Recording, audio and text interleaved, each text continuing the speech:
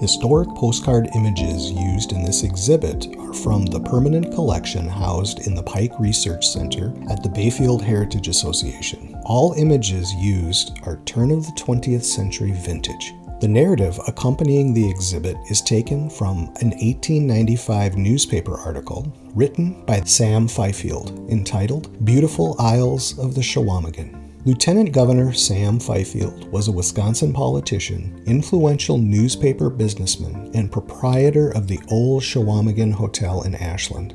In addition to starting both the Bayfield Press and the Ashland Press with his brother Hank. Fifield diligently promoted business ventures and tourism interests in the greater Chequamegon Bay and Apostle Islands area. In 1886, his vision for sufferers of hay fever resulted in the establishment of a pure air paradise where he opened Camp Stella on Sand Island, where he brought tourists and dignitaries for nearly 20 years. The complete text of Sam Fifield's narrative, along with his 1915 obituary notice, can be found by following the link to the BHA website at the end of this presentation. And now, the narrative of Beautiful Isles of the Chequamegon by Sam Fifield. Along the south shore of the great northern sea, the scenery, while of entirely different mold, is no less interesting and pleasing than that of the bold shores of the north. From Duluth to the Sault Ste. Marie, there is a great variety, from the peaceful isles of the Chequamegon to the rugged cliffs of the pictured rocks.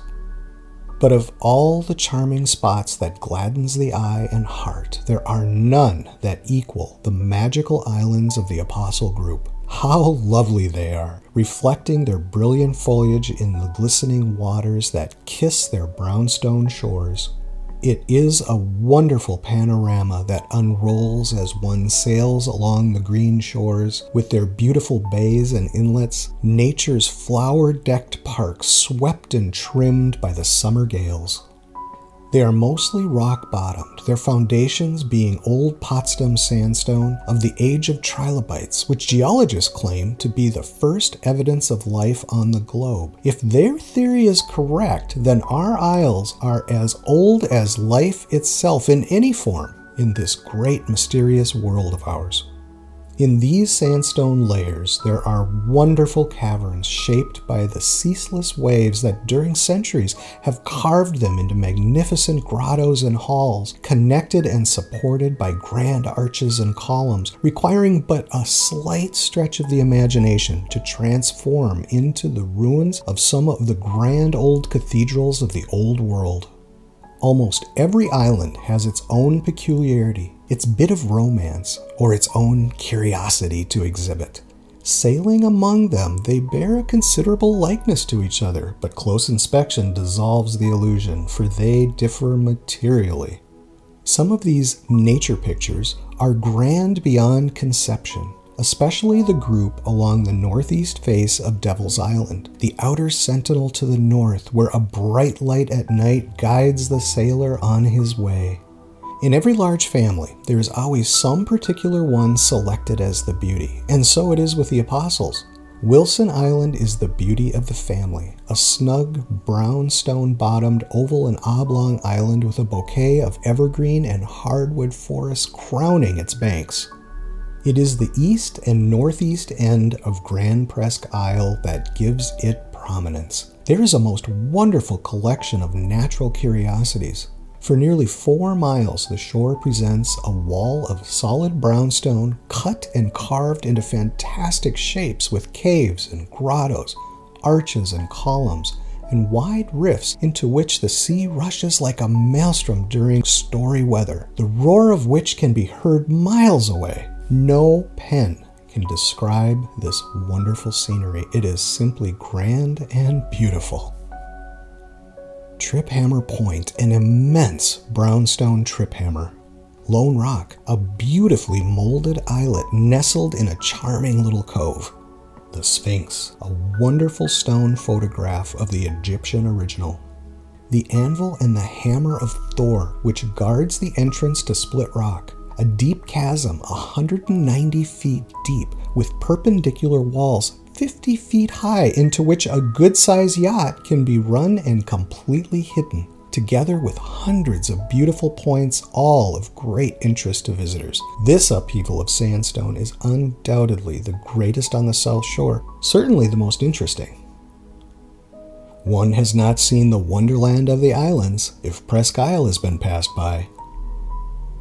Bass Island has its natural curiosity to present in Profile Rock, located near the north end, a most striking and interesting feature.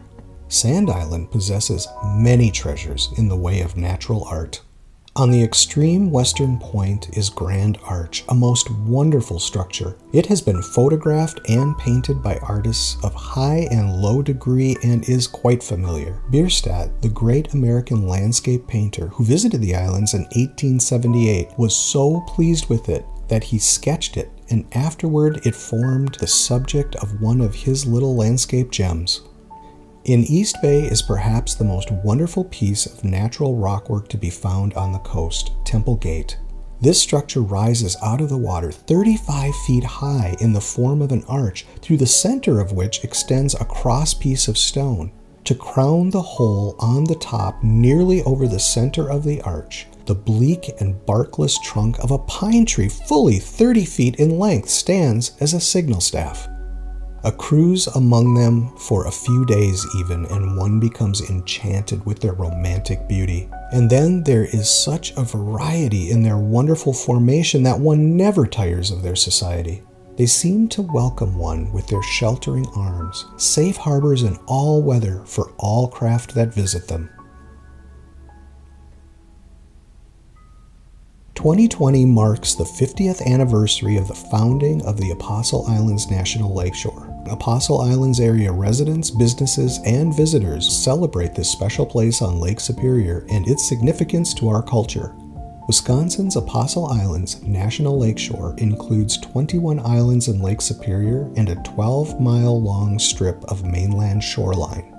The area features pristine stretches of sand beaches, spectacular sea caves, remnant old growth forests, a diverse population of birds, mammals, and fish, and the largest collection of National Register lighthouse complexes in the national park system. People have used the islands for thousands of years, and the area is considered the ancestral homeland of the Ojibwe people. The park annually hosts about 200,000 visitors, Everyone is invited to learn about the Apostle Island's past and how you can be a part of its future protection by visiting the sites shown here. For more information, as well as a link to this presentation and many other online resources, please visit bayfieldheritage.org.